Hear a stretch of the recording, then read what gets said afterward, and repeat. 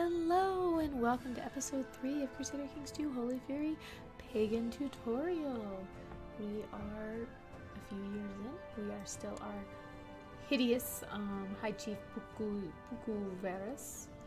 And we also have a bit of a troop problem. If you check here, one lovely thing is you can hover over your army levies and you can see how many troops you have.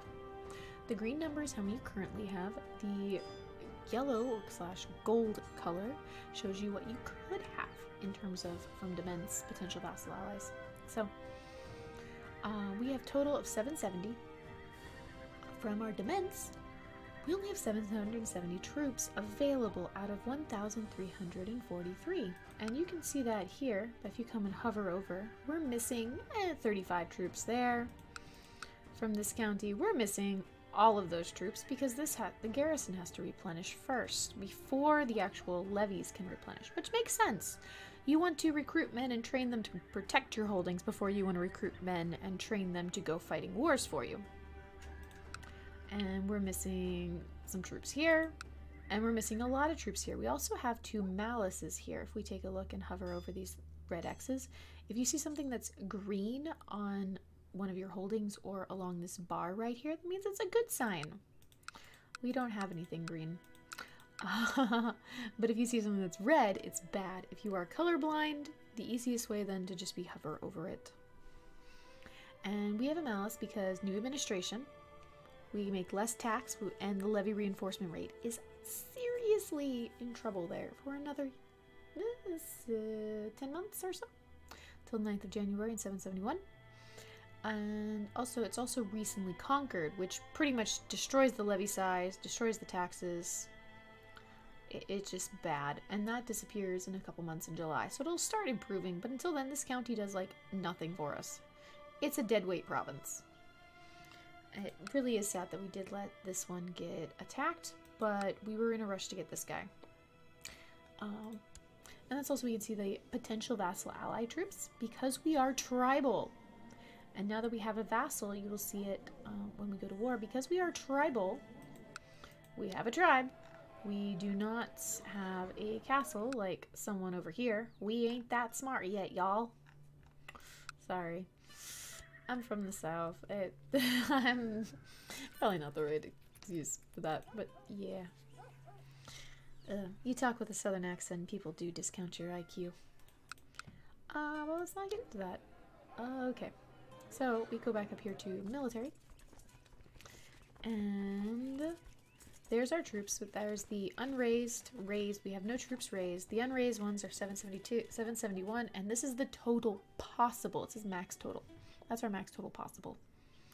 Uh, vassals, we get zero troops from vassals, which we discussed that already. And then we also have this lovely button right here. Once we are in war, we can push that and we can call our vassal in. Thing is, our vassal hates us. And so he does not have to answer the call if he doesn't want to. And he's probably not going to. He's probably going to say, No, I hate you. I refuse. Which is a bit of an issue. And it's not something we can really fix at the moment because that whole usurp title for the next uh, hundred years is really bad. But we needed a duchy, so, you know, you donate to the cause, dude. And your son hates us a bit, for short reign, but that's it. So hopefully uh, we'll make you... What we could do is we can make him a commander. He can't be much worse, and we'll stick him in the front lines and hope he dies in, in glorious battle. That's one thing you can do. Sticking someone as a commander does tend to end up with them dead a lot of times. Um, yeah. Just, just an FYI. So if your liege is trying to make you a commander, refuse if you are a vassal. But we're not doing that this time. Alright. So, we have to wait for our troops to go back up because we only have 770. And if we go looking at our, vas our, our vassals, our future vassals around us, this guy's a little less troops, but it would still be a bit of a tight um, attack, tight squeeze. And these guys have a lot more, well, a good size more. 800, 100 or so more. This guy has a very good amount more. So what we're going to do is we're going to even the playing field a little bit while we wait. We're going to raise our troops and we're going to mark them as toggling looters because that does change it so that they cost us less money because we are at peace. If you are at war, there you go, point 11. I take them off. 1.15. That is a huge difference considering if we hover over up here, we make 0.41 a month. So if we're paying 1.15 a month, we're losing money. But if we're at peace and we toggle looters, we are now paying 0.11. It's a lot more affordable. We're still going to make money every month. And we're going to even make more money because we're going to toggle these lovely men as looters. As we've done, we're going to let them uh, stack up here together as they slowly go. There we go, they automatically compile. Um, you cannot toggle this button if you are at war. But remember how we talked about that the, um, it says here that we can raid infidel, rulers can raid infidel neighbors for loot. Well, it's a lie. You can raid anyone that's touching. If we had boats, we could take boats and go and raid other people. But we will talk about that later. We do not have boats. We do not have cheaper boats. We are completely stuck on this river, which is not a bad place to be, but you know, that's where we are. But we can raid anyone, that any province that is ad adjacent to ours, and it will automatically send the loot back home to us. If we tried to raid, uh, like Toropets here, the money would not go to us. We would still siege this down, destroy it, hurt them, but the money would just disappear into, into thin air. Apparently, our, our troops refuse to carry money home. Uh, we're also to stick our dude right there in the center, just in case. And we're to go raid... We're probably to attack this guy first. So we're to come raid him, beat down his land, take all his money, which also makes him a lot easier to defeat. So this is a very sneaky thing to do. Uh, as long as you know you can easily reach the counties. Come here and raid. And one thing to notice when we're raiding is that we have this bar, the county loot, which has this little line in the middle of it. So this up here is the loot that's open outside the walls. You can just run in, grab it, and go. The loot under this bar is protected by the fort, by the castle, by the walls. Uh, if we go and look at some other provinces, like let's look at Constantinople. They have Theodosian walls, which says fort level. Fort level is the important part. Castle, castle walls, castle fortifications. It the bar gets more from the other baronies that are there. Fort level 5, fort level 0.8 because this is a city. Cities and churches do not have high fort levels. Castles do. Tribes are meh. But so this one there's 183 total county tax here. That's their year income. And if you hover over here, loot protected by, oops, sorry, loot protected by fort level, 88 ducats is protected. And max loot is 138. Possible loot, 49.6, is the part that's not protected. So if we raided here, you just landed, you took the free gold and ran, you could get away with about 50 ducats. But if you sat here and sieged down every single one of these provinces, you would walk away with a minimum of 138. Because when you actually siege down a subholding, then you get a bonus of gold, as we will see up here. Because we are going to uh, siege this guy down. He doesn't have very much. He's only got 1.1. We're poor. Loot protected by fort level, 4. Possible loot, 4.6. Max loot, 9. So we can take 4.6 gold. If we just sit here, you can see that we're slowly taking this money and we're sending it home. It's not very noticeable, but it's happening. It's just it's such a small amount because we're so poor and our neighbors are so poor. That's one of the things. Like, you get a lot of cool features with being a pagan, but the start can be a little slow in times in terms of cash. But there we go. We have looted to that bar. But if we click on the province again, you can toggle between the two with this lovely toggle siege view. You can hit Z to do it as well. Boop, boop, boop. And you can see that we've been sieging down this province. You know, 598 troops, 780. We've got more, so we're totally doing it. Up, oh, he did raise 530 troops, but the AI is typically smart enough not to attack us because we have more troops than him. A player, on the other hand, if you own this province yourself, you could raise up your 212 troops, send these guys over, and you might have a fighting chance. Um, but we're not going to do that. At the moment, we're going to siege this down. And... Bum, ba oh, our heir. So here we go. Our heir. As he is growing older, I can see that Sargon could use some guidance in some of my experienced areas. I will require hard work and may not always be approached, but this be appreciated, but this is my chance to make a self-sacrifice for the sake of Sargon. So you will see this event quite often when you are educating your own children or even other people's children. And it's an interesting event, especially when it's to your heir. Because for the first one, you say he deserves greatness, go get it. This means that you make your your the child ambitious. Ambitious is wonderful. It's plus two to all stats. It's plus three to personal combat. And it does cause a same trait opinion. So other people that are ambitious dislike fellow ambitious people. And if you're against someone who's higher, there's an ambition opinion of minus 25. So it can make people hate you, but you become a more powerful character. It's a really good trait for your heir to have because you want them to be ambitious. Unless you're really doing some fun roleplay. Uh, other things you could do, so you could be through, you could make them diligent and then you become stressed, which is minus the health, fertility, personal combat, stewardship, intrigue. It's not a good thing. Steward stressed can kill you. Diligent is plus one to everything. So it's sort of a, a less powerful ambitious, but it doesn't give you the personal combat skill, but it gives you vassal opinion, and people like you for it. Uh, people that are slothful, the opposite trait, do not like you though. Make your move the right time. You can take a temporary out of patience for five years. Minus two to intrigue, diplomacy, stewardship, but you give your child patience which, just like Diligent, is a really good skill, except it gives personal combat instead, and defense is for when you're leading troops. Or you just say they learn on their own and nothing happens.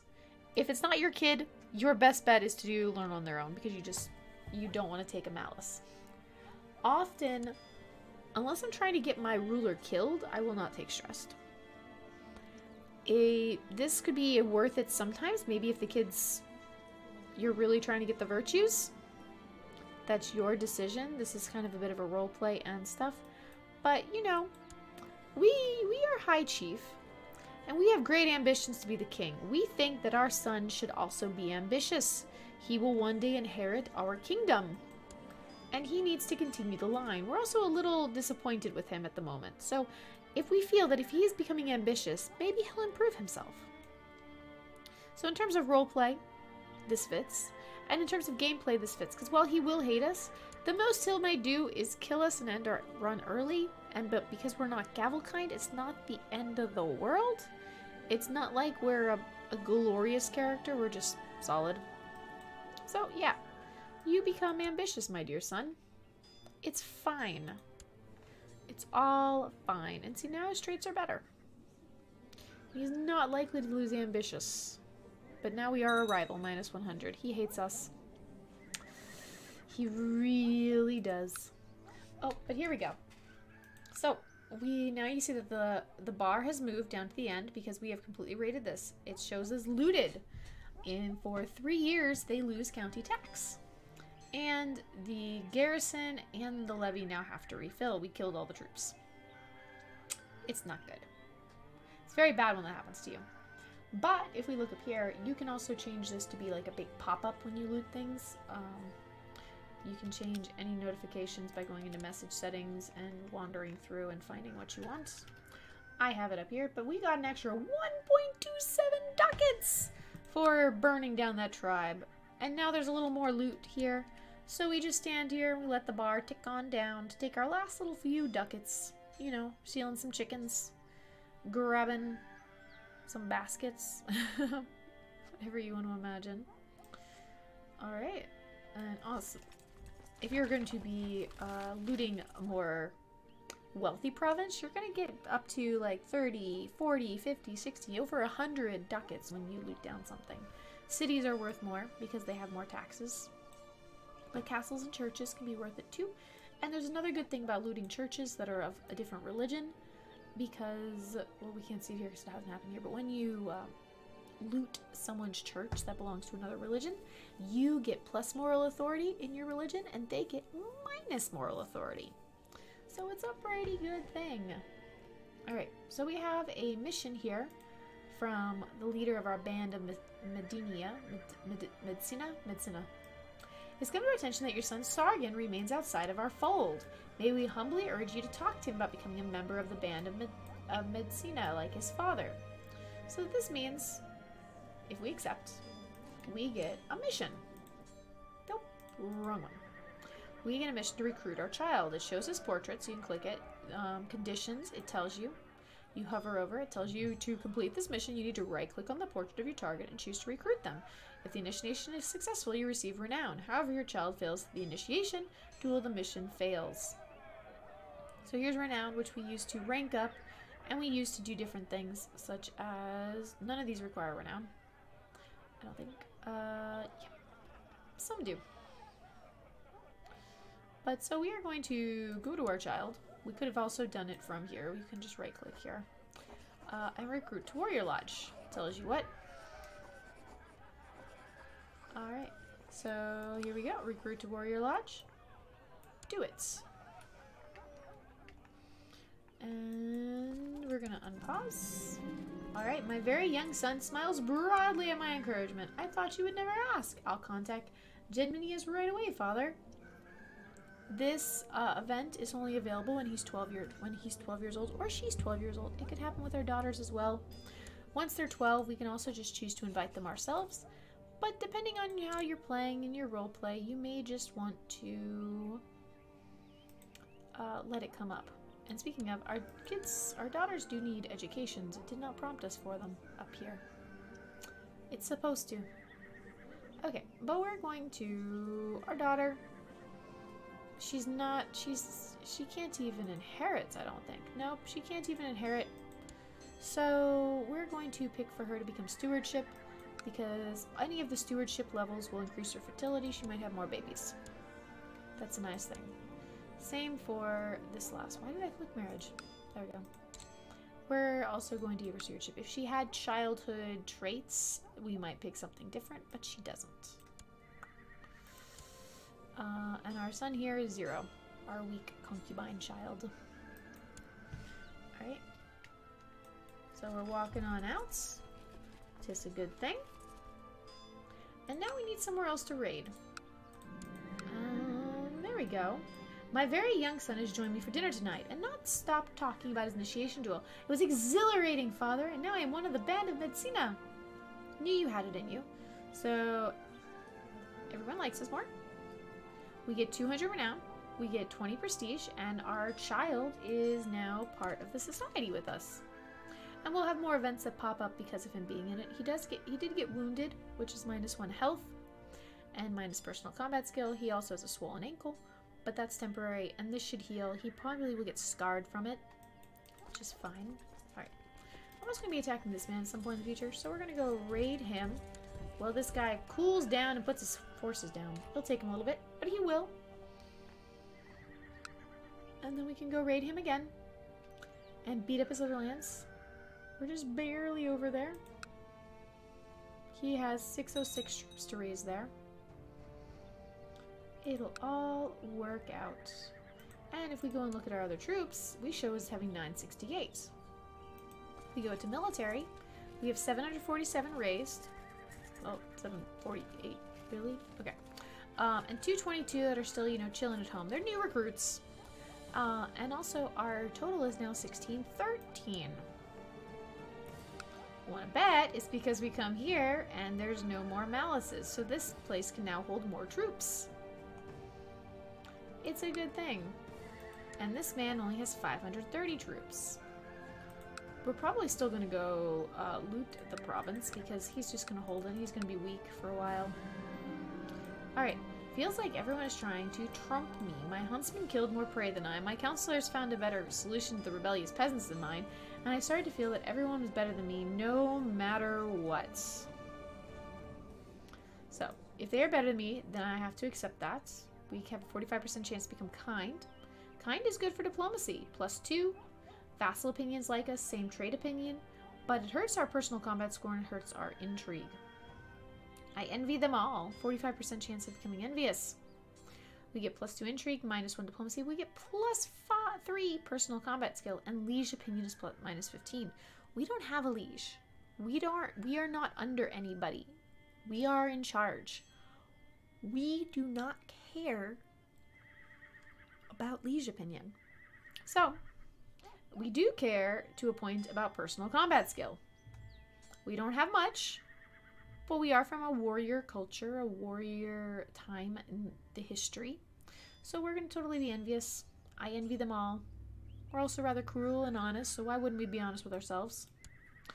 Uh, was only 45% chance we didn't get it. And here's another good thing about looting.